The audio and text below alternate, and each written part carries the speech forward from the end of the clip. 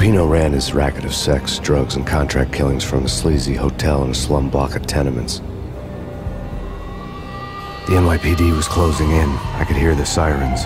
Their wail was a crescendo. Lupino thought he could get us by taking Alex out and leaving me to take the fall for it. All he had gotten was my attention. I went for the hotel first. It was a sad old thing with flickering lamps and faded colors, cheap mobster punks and tired-eyed prostitutes. I walked straight in, playing at Bogart, like I'd done a hundred times before. The place was run by a couple of murdering mobsters with shark smiles. The Finito brothers. Ladies and gentlemen, it's the pain in the butt. Pain to the max. You're killing me. Did you make that up yourselves, or you get some wino downstairs to come up with it? Don't answer that. A rhetorical question. I got something for the boss. Lupino around? That kind of depends on who's asking. A friend or a junk squad plan. The don't answer. It's one of them, uh, how do you put it, uh, rhetorical questions. Lupino ain't here, but he says bye. Lupino wasn't in his cheap hotel. Instead, I ran into the Finito brothers. My cover had been blown, the door slammed shut behind me, and then I was dodging bullets like raindrops.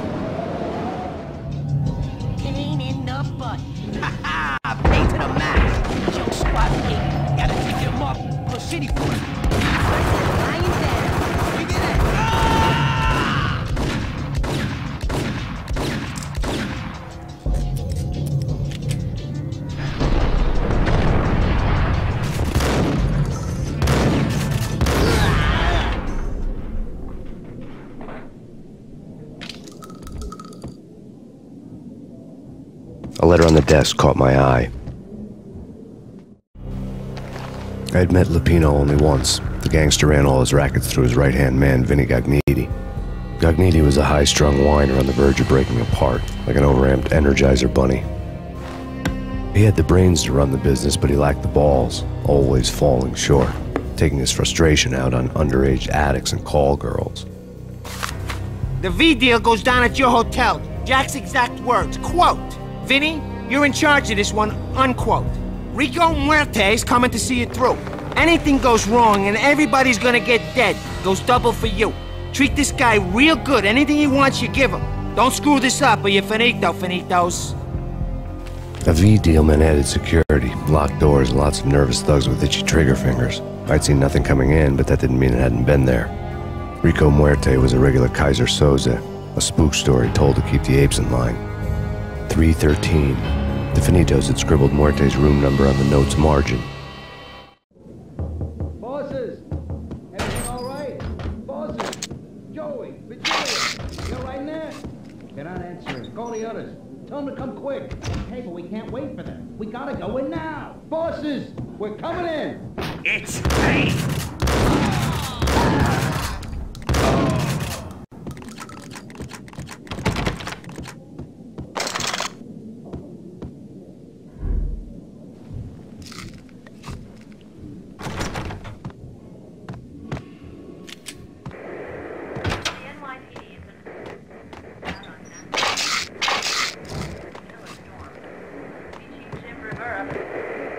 Take whatever steps necessary.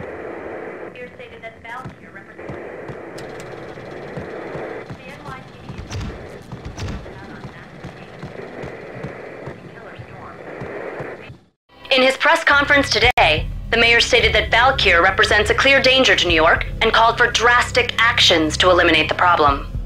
On today's top story, the Valkyr crisis worsens with the murder of DEA Special Agent Alex Balder. Special Agent Balder had been shot repeatedly from a point blank range. The gunman has been identified as Max Payne. The noose is sure to tighten around this fugitive criminal as more NYPD units join the search to apprehend him. I had just gotten my 15 minutes of fame.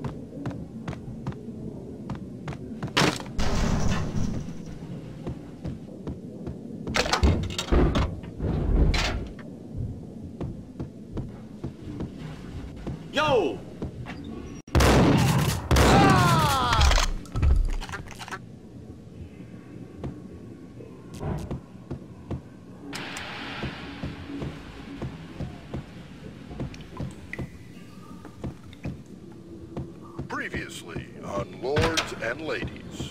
Lady Amelia, Marquis Valentine asks for an audience. Thank you, Lawrence. My lady. My lord.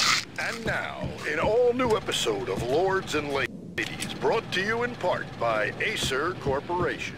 Hey!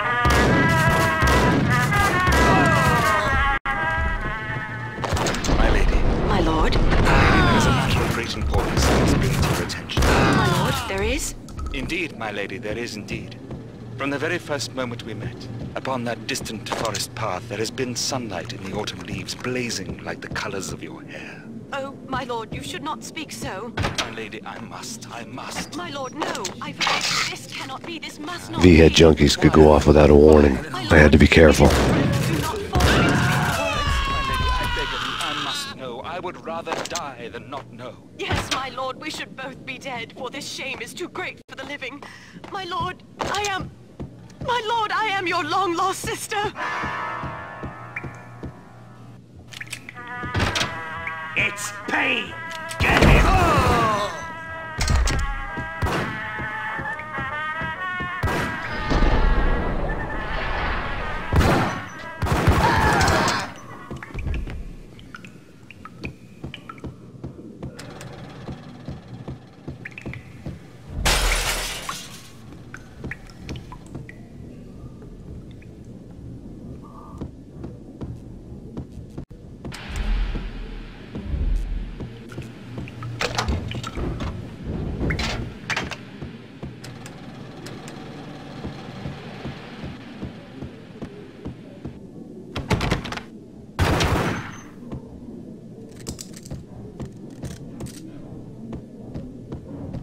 Of crap!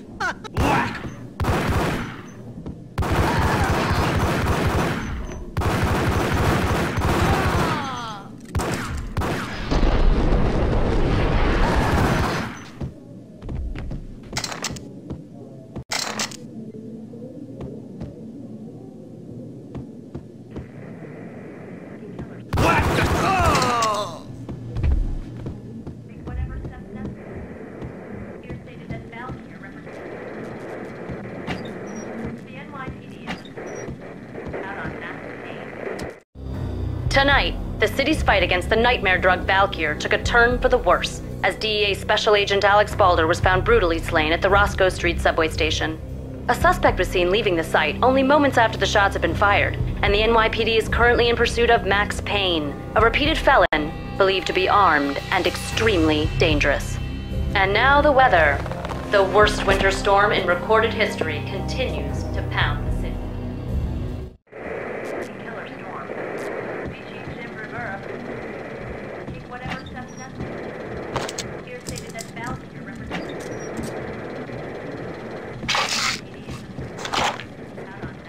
This party had been dead for a while.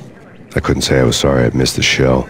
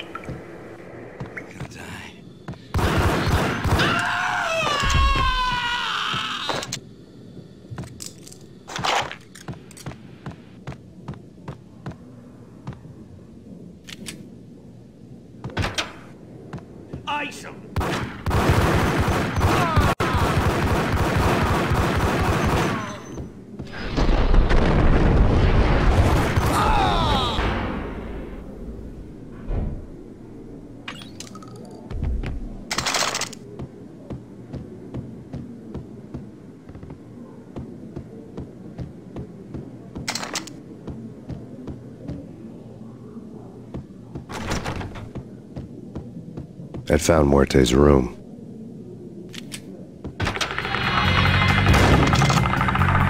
Muerte had received a letter.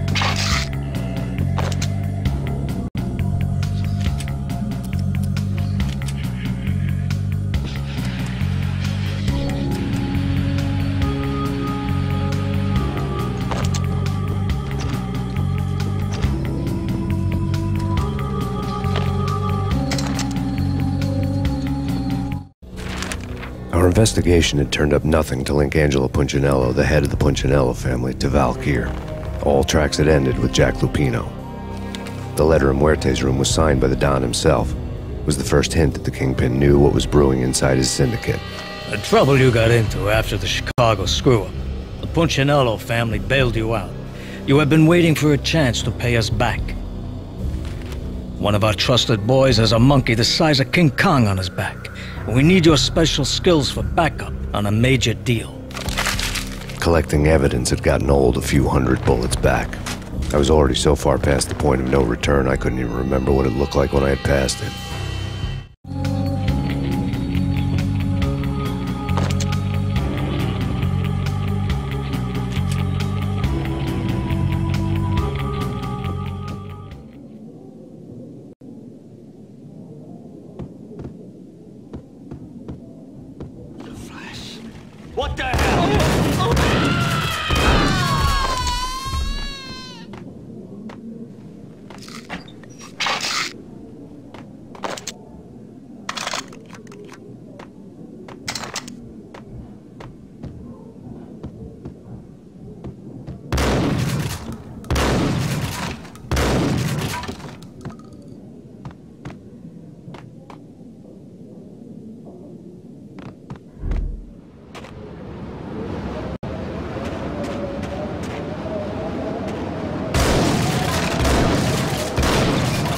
I didn't want to know what had happened here. It was not a pretty sight.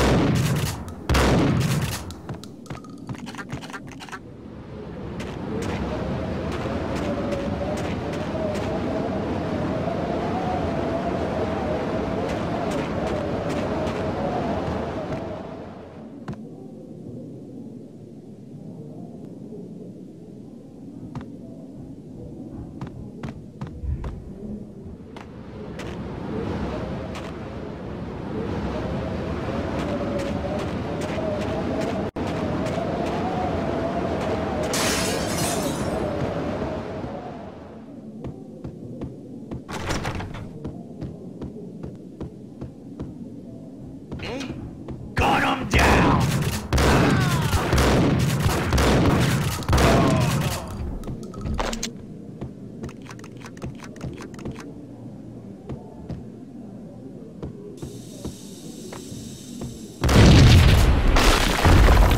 What the hell? You. God damn! I thought it was a bomb for sure. Nah, the Russian wouldn't dare. This has been waiting to happen. Hey, yeah.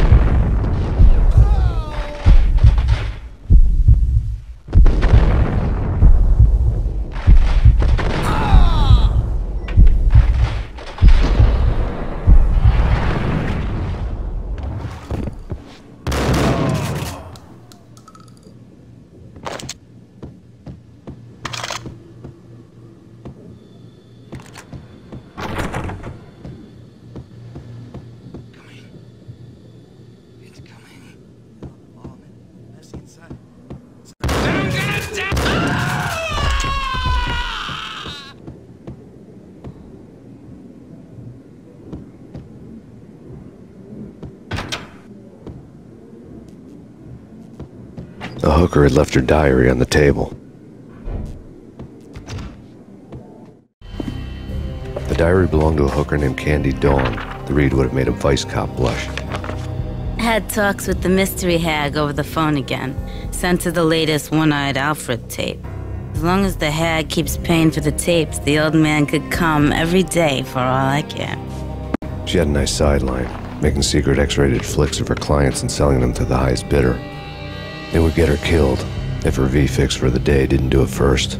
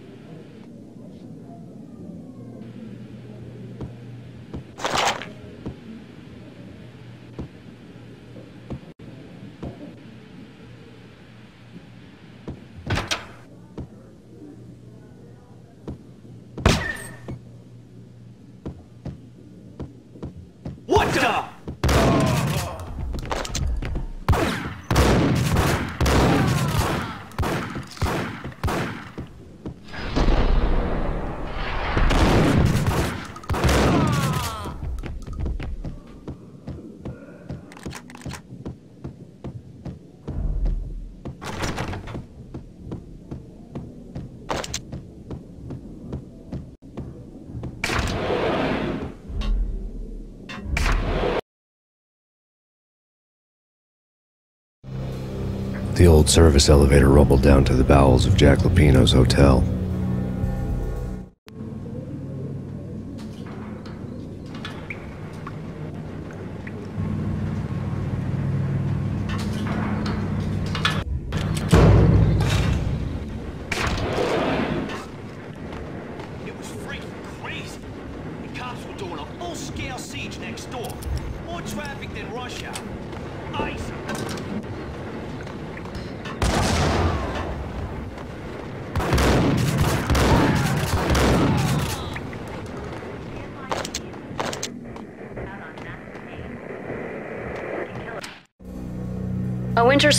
Is in effect in the whole tri state area, as both freezing rain and heavy snowfall continue.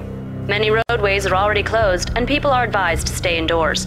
The severe blizzard has ravaged New York for three days now, with no end in sight. We'd been snowed from the start in the Valkyr case. The forecast said there was plenty more where that had come from. But the snowbound city was on my side. Less chance of innocent bystanders getting caught in the crossfire.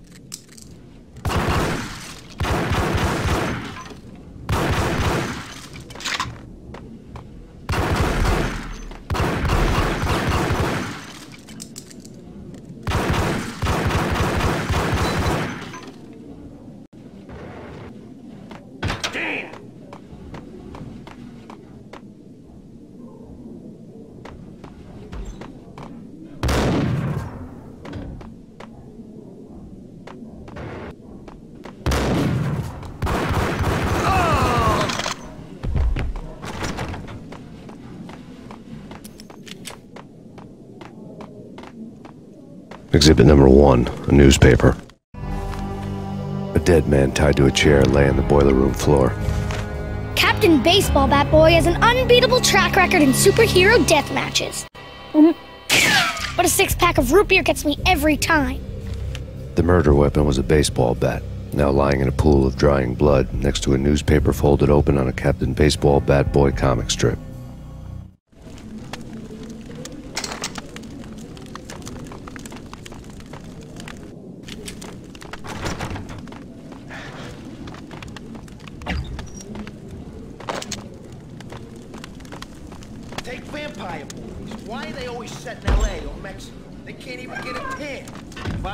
A bloodsucker, I moved to the North Pole. Gun down!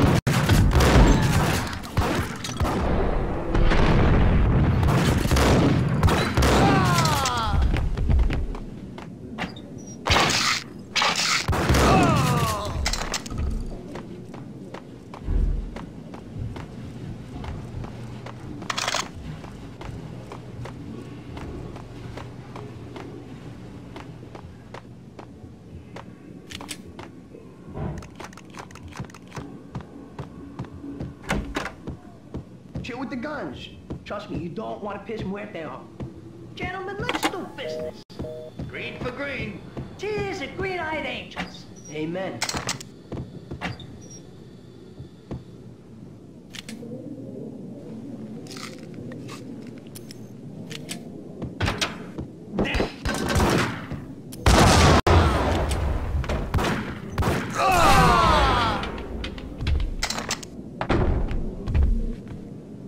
A lifetime ago, this would have gone down as a narcotics arrest.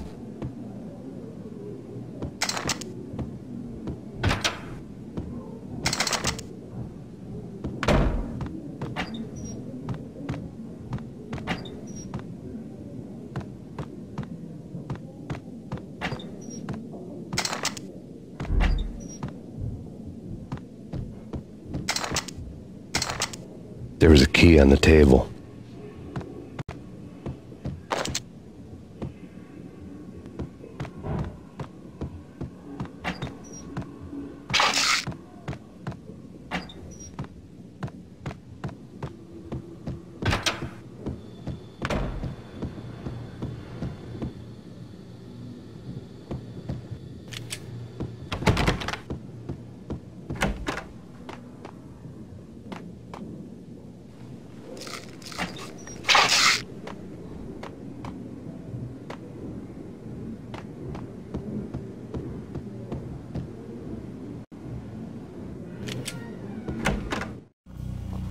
Two mad dog killers, ready to murder each other. They step into the next room, and I'm thinking, now they're gonna do it. Mm-mm. But no. They sit down in front of a TV and solve their differences with a kung fu fighting video game. I tell you, Candy, I was so depressed, I strangled them both with the video game cables. Oh, Rico, you're so bad. I am, ain't I? Mm-mm. Rico Muerte, big time hustler. Who the hell? It's that cop. Muerte went for his gun.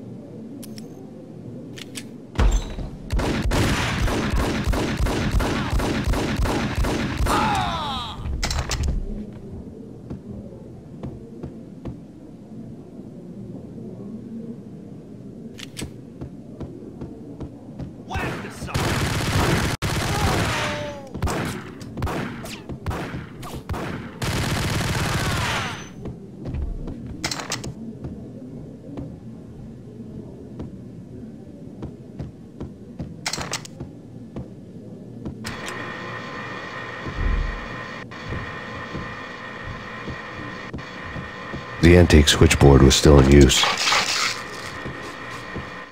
There was an old telephone switchboard in the back room of the reception area, the kind that made phone tapping child's play.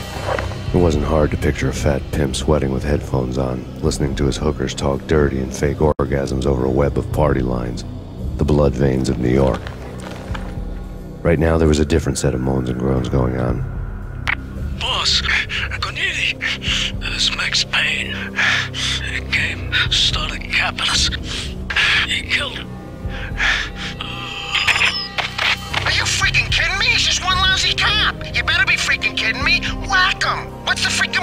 Problem? Hello? Answer me. Hello?